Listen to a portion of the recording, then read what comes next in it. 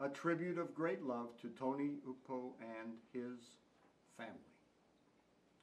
It was because of Tony coming to the United States that we were able to meet his wife Sally and eventually travel to Nigeria and meet with his sons and later meet his daughter.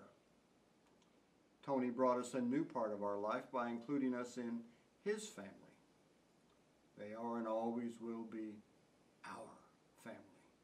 It is an honor to know them, and they are in our hearts forever. We ask God, we ask you, God, please bless them, keep them close, give them courage, especially at this most difficult time. We praise you, God, in the name of Jesus. Amen.